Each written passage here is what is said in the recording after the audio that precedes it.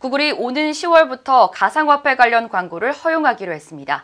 구글은 26일 금융상품 및 서비스 정책 업데이트를 통해 미국과 일본에서 법규를 준수하는 가상화폐 거래에 대한 광고를 10월부터 허용한다고 밝혔습니다.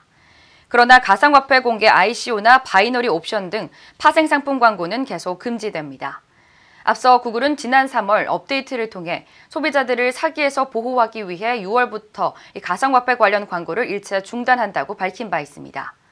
한편 구글은 전체 수익의 86%를 광고에서 얻고 있으며 올해 상반기 광고 수익만 540억 달러, 우리 돈으로 약 60조 3천억 원에 달하는 것으로 알려졌습니다.